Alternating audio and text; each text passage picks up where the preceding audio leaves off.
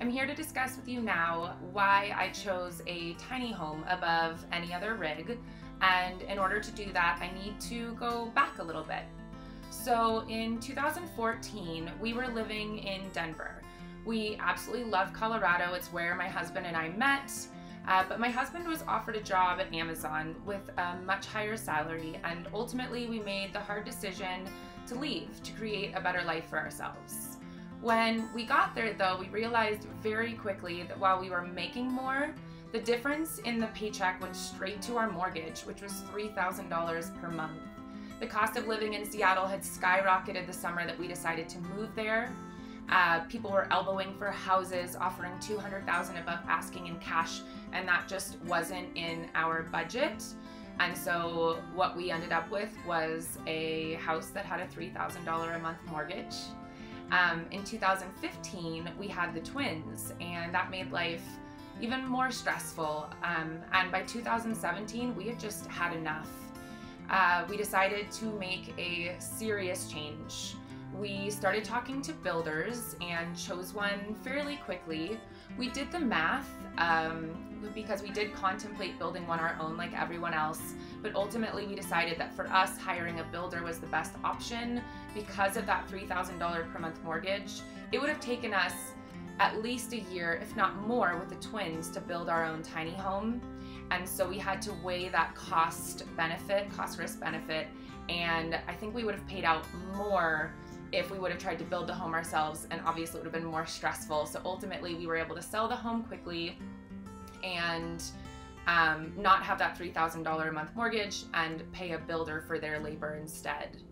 Um, in the span of just a few months, we downsized our entire lives. It was about four months. And we used the money that we made from selling our Seattle home to buy the truck to tow the tiny home, which needed to be very large. It was a Dodge Ram dually with a 410 axle ratio, rated to tow 30,000 pounds. And then we also put a down payment on the tiny home and chose to finance the rest. In January of 2018, my dad passed away and the tiny home was complete.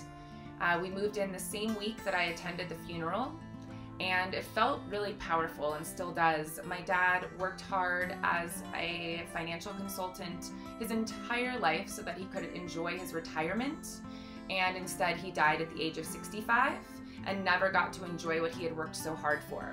And for me, that felt like confirmation that we were on the right path. So the tiny home was the right choice for us because of our children and I know a lot of couples who it's the right choice for them because they ultimately want to grow into the home and live in it for a long time. We needed dedicated sleeping spaces, we wanted dedicated cooking spaces, and a bathroom to potty train. They were still in cribs, and if you've had a baby, then you know that you do not mess with their sleep. Uh, we also knew that we didn't want to live in it forever and wanted to create something that could become something else. Eventually, we knew we would want to settle down somewhere, and the tiny home feels more like a home. Um, you know, if we would have gone with an RV, they aren't made the way tiny homes are. We have a beautiful fireplace, beautiful entertainment center, wood walls, real cabinetry. It feels like a home when it's parked. Um, and then we also knew that when we outgrew it as a family, we knew we could turn it into a rental of some kind. So it felt very multi purpose we traveled with a tiny home for one year before we decided to settle in Durango, where our tiny home is currently parked. Um, I would like to mention that towing a tiny home is quite the endeavor. Uh, it can be done, but if travel is on your agenda, a tiny home may not be right for you unless you build fairly small with a low roof. Our tiny home is a 34 foot gooseneck and it's 13 feet tall. Um, and for reference, uh, it weighs 17,000 pounds dry, and we built with a steel frame in order to keep the weight low. Our friends who have a 28 foot bumper pull, uh, which is obviously shorter than ours, and they built with a wood frame, their home weighs 23,000 pounds dry, and that would have kept us from towing it completely. Um, once your things are in it and you have to take into account the weight of the truck and the people in the truck, you go over limit and it would have been very scary going over passes and things. So super grateful that we went with the steel frame. But again, if you are really wanting to travel, you will want to design something smaller. And I am definitely not the person who will tell you that it's impossible to tow a tiny home. I am the person to tell you that it is possible.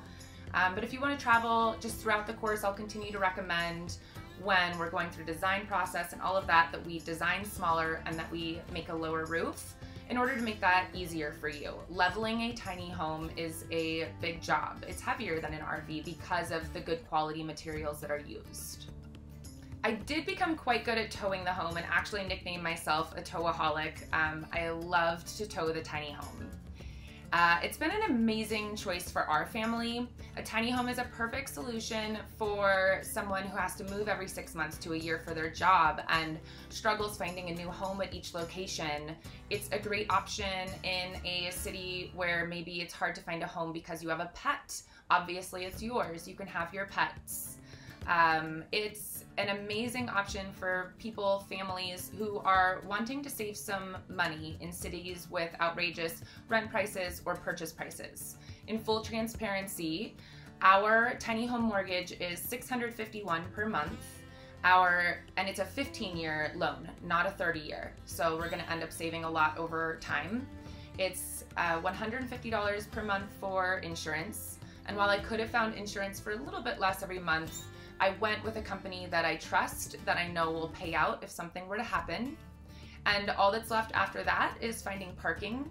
In our current parking spot, we pay 600 per month. Our utilities are about 50 a month, even in the winter for electric, water, everything. It's very low cost of living in a tiny home. And while 1450 might sound high to some, it's extremely low to others, especially with the rising cost of living that's happening across the country. Um, if we were to find something that we could all live in here in Durango uh, in the same location, we'd probably be paying close to 2500 per month. So 1450 is a steal for us here. And then we're also paying towards something that's ours rather than paying someone else's mortgage, and that feels really good.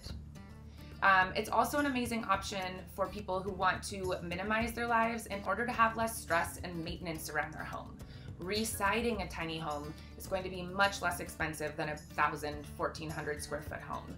Repainting a home, um, the maintenance in general is just a lot less. And so if you're a person who loves to get outside, to enjoy nature, to travel, to adventure, the minimal amount of um, just cleaning and maintenance that you need to do, it's pretty substantial and it will improve your quality of life quite a bit. So hopefully by the end of this course, you will have made a decision on which rig is right for you, and you'll have full confidence in that decision moving forward.